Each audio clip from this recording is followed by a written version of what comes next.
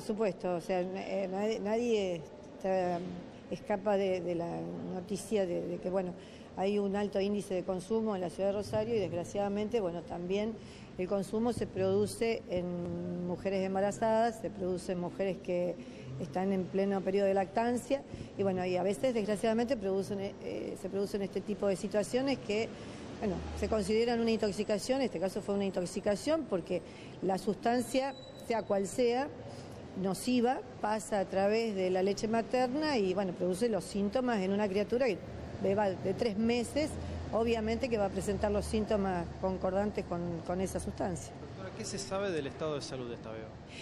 No, eh, no, no, conozco específicamente, fue en el, hospital de zona norte, pero bueno, obviamente se trata, apenas llega, se trata y, generalmente, bueno, este, mejoran, pero eh, el tema va más allá, va mucho más profundo que, esta situación. Esta situación es un emergente, o sea, es una, es una visibilización de, una problemática muy compleja que empieza desde el embarazo. O sea, nosotros vemos a veces eh, una cantidad de mujeres que vienen al parto y que a veces se descubre que bueno, son mujeres por, detalles que consumen, han consumido durante el embarazo.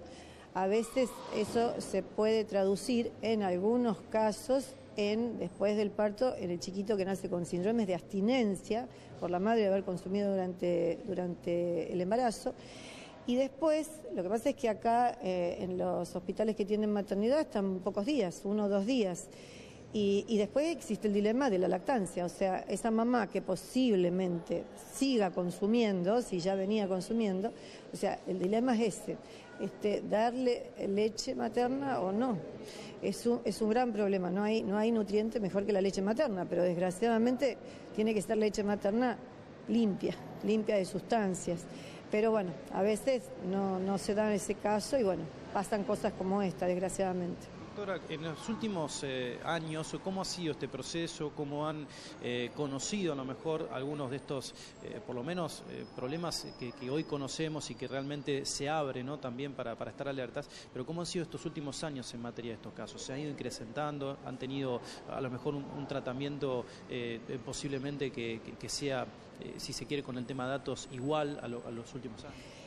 Eh, este tema de, esta situación de consumo que se llama el binomio materno-fetal, o sea, donde está implicado una criatura en formación, o sea, un embrión o un chiquito recién nacido, un chiquito, como en este caso, una beba de tres meses, de, muy poca edad, de corta edad, este, ya lo venimos viendo hace muchos años, antes de la pandemia, muchos años antes de la pandemia. Lo que pasa es que, bueno, en todo este tiempo se están eh, tratando de implementar protocolos o formas de abordarlo y soluciones. La verdad que, pero es muy complejo, es muy complejo porque, por eso, eh, se puede abordar en el momento en que se trata a la madre, se, eh, acá tenemos armado un equipo interdisciplinario de distintos profesionales, psicólogos, eh, trabajadores sociales, médicos, pero después a veces la madre no acude más, se pierde y bueno, y no sabemos qué pasó.